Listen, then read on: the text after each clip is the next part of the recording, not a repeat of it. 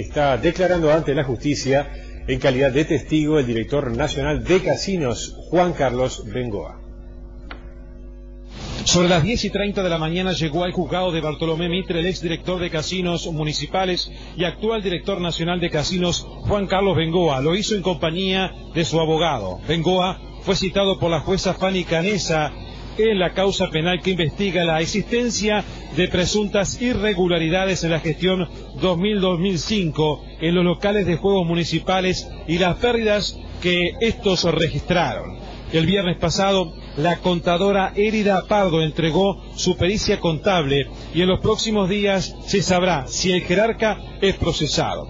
Los delitos que le podrían aplicar a Bengoa son los de abuso de funciones, conjunción del interés personal y del público y fraude.